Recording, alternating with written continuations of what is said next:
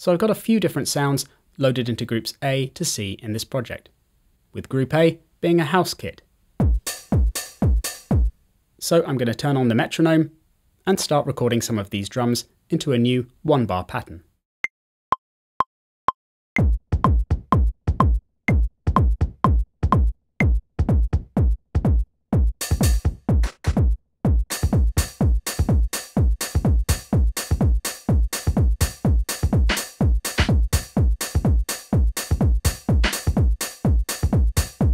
And I'll record this stab sound in too.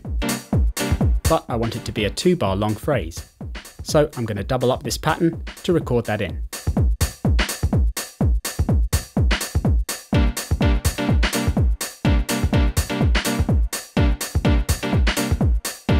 And lastly, this shaker sound.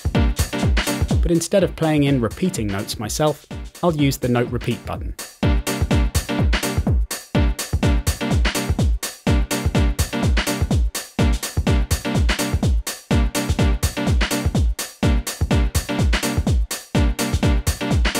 Now onto Group B, which is a plucked lead sound, which I can play with the pads in keyboard mode, where they become MIDI notes for playing in melodic phrases.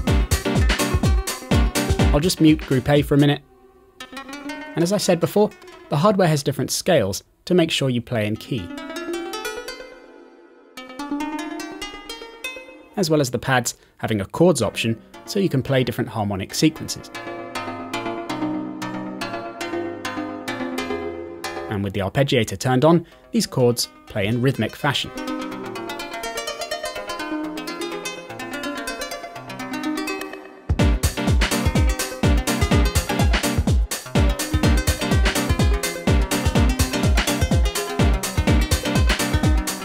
However, going back to keyboard mode, I'll just record in a two bar pattern of my own for this.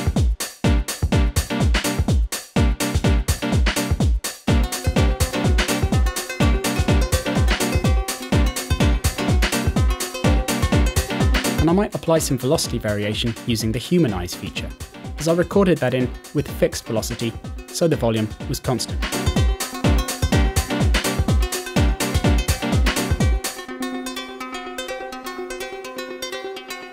And finally, some bass in Group C.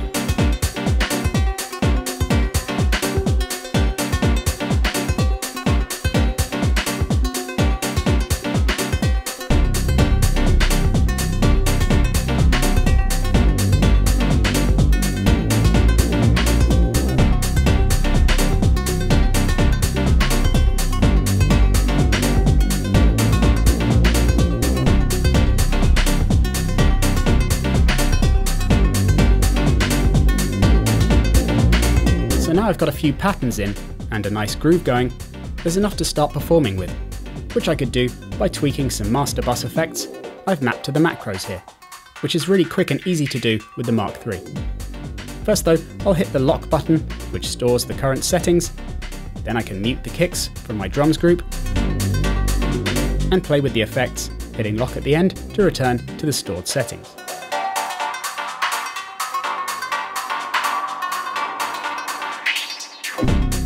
Making breakdowns on the fly like this is easy, but if you'd rather get something a bit more permanent, then you can go into scene mode, duplicate the scene, press the unique button so all the patterns are unique to the scene, meaning I can then edit them by erasing some of the drum events for example.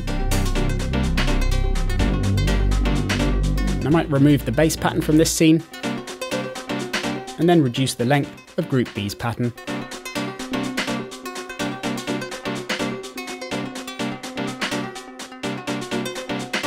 and add some extra notes. And the Mark III screens allow really quick and easy editing of any notes directly from the hardware. And then I can switch back to my original scene just by hitting pad 1. And there are loads of other controls for applying individual expression, like the perform effects. You should be starting to get an idea of how powerful a controller this is now, and we're only just scratching the surface of it. With the pads alone being able to control a huge amount of the software, assisted by the mode buttons to the left and above, and with shift commands on each one, offering a whole host of editing functions too, and of course the massive displays above providing further assistance and a clear view of what's going on, you won't find yourself reaching for the mouse very often.